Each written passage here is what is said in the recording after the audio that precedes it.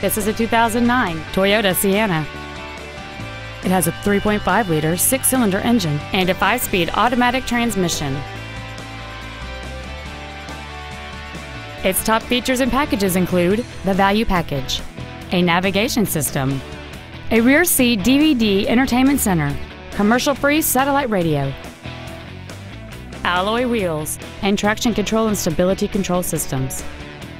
The following features are also included air conditioning with automatic climate control, a split folding rear seat, cruise control, a six speaker audio system, a leather wrapped steering wheel, a passenger side vanity mirror, front side impact airbags, a home link feature, a rear window defroster, and a power driver seat.